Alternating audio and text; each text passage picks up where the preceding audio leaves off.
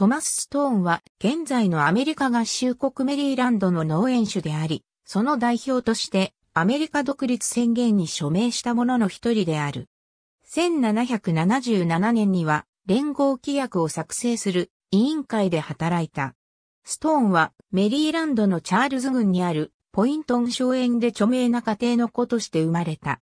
父、デイビッド・ストーンと母、エリザベス・ジェニファー・ストーン夫妻の大家族の中で次男であった。兄弟のマイケル・ジェイ・ストーンとジョン・ホスキンス・ストーンも重要な政界の経歴を持った。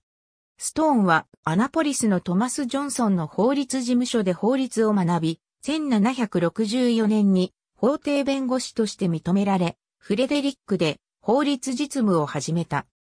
1768年、ストーンは軍内でも最も富裕な人と考えられていたグスタバス・ブラウン博士の末娘、マーガレット・ブラウンと結婚した。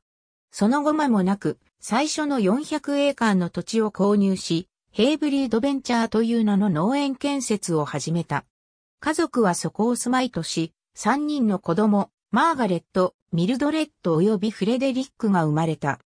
ストーンは法律実務のために家を離れることが多かったので、弟のマイケルを連れてきて、プランテーションを発展させた。アメリカ独立戦争が近づくと、ストーンはチャールズ軍の通信委員会に参加した。1774年から1776年はメリーランドのアナポリス会議の大議員だった。1775年、アナポリス会議がストーンを大陸会議代表に送り出した。その後も再選出され数年間連続して代表を続けた。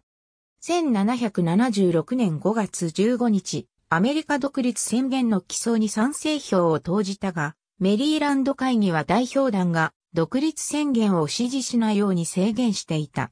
6月にその制限が撤廃され、メリーランドの代表団は独立に対して自由に投票できるようになった。それ以前のストーンはイギリスとの外交関係を開き戦争に進まないことに賛成していたが、これはストーンが平和主義者であるからだけでなく、保守的でもあり、陰惨な戦争を始めるに気が進まなかったからであった。7月にはアメリカ独立宣言に署名した。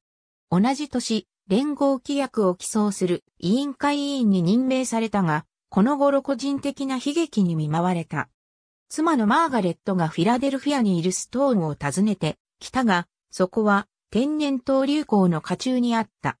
マーガレットはこの病気の予防接種をしていたが、副作用が出て病気になった。マーガレットの体力は残りの人生の間、衰え続けた。独立宣言に署名した後で、妻を連れて故郷に帰り、大陸会議のその後の任務は辞退した。ただし、アナポリスで大陸会議が開かれた1784年の1時期のみ出席した。ストーンは1779年から1785年までメリーランド上院議員を引き受けた。当初はメリーランドが連合規約を承認することでは最後の国になっていたので、その批准を促進するためだった。しかし、マーガレットの看護をするためと子供たちを養育するために法律実務を諦めた。マーガレットの体力が落ちていくにつれて、次第に公的な生活からも退いていった。マーガレットが1787年に死ぬと、ストーンはひどく落ち込み4ヶ月足らず後に、バージニアのアレクサンドリアで死んだ。死因は、昇進だったと伝えられている。ストーンは自分のプランテーションに埋葬され、墓は今も残っている。今日のヘイブリードベンチャーは、トマス・ストーン国定歴史史跡の中心であり、国立公園局によって博物館として運営されている。住所はメリーランド州ポートトバコビレッジ、ローズヒル道路6655である。ありがとうございます。